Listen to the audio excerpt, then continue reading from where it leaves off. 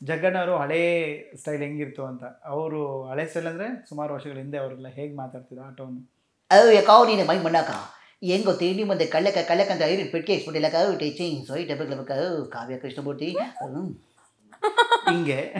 So ಈ ಥರದೊಂದು ಹಳೆ voice ಆಮೇಲೆ ಕಾಮಿಡಿ ಕ್ಲಾನಿಂಗ್ ಬಂದಾಗ ಅಷ್ಟೇ ಅವ್ರು ಜಡ್ಜಸ್ ಥರ ಮಾಡಬೇಕಾದ್ರೆ ಕಮೆಂಟ್ಸ್ ಹೆಂಗೆ ಕೊಡ್ತಾರೆ ಅವರು ಅಂತ. ಅವರು ಒಂದು ಶೈಲಿಯಲ್ಲಿ ಏ ಲೋಕೆ ಭಾಳ ಚೆನ್ನಾಗಿತ್ತು ಸ್ಕಿಟ್ ಆ್ಯಕ್ಚುಲಿ ನನಗೆ ಭಾಳ ಇಷ್ಟ ಆಯಿತು. ಇದೊಂದು ಏನಪ್ಪ ಅಂದರೆ ಈ ನೈನ್ಟೀನ್ ಫಾರ್ಟಿ ಸೆವೆನಲ್ಲಿ ನಮ್ಮ ಕೃಷ್ಣಮೂರ್ತಿ ಅಂತ ಒಬ್ರು ಇದ್ದು ಈ ಕಾವ್ಯ ಕೃಷ್ಣಮೂರ್ತಿ ಅಂತ ಒಬ್ರು ಇದ್ದಾರೆ.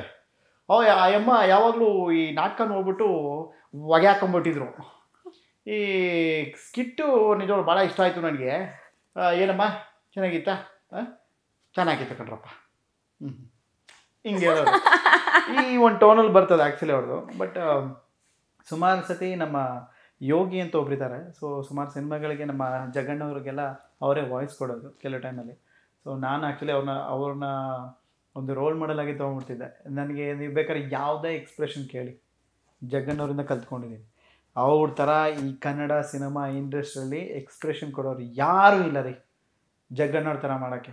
ದೇವರಾಣೆದು ಅದ್ಭುತ ಕಲಾವಿದರು. ಅದಕ್ಕೆ ಹೇಳೋದು ಅವ್ರನ್ನ ನವರಸ ನಟನ, ನವರಸ ನಾಯಕ ಅಂತ ಹೇಳೋದು.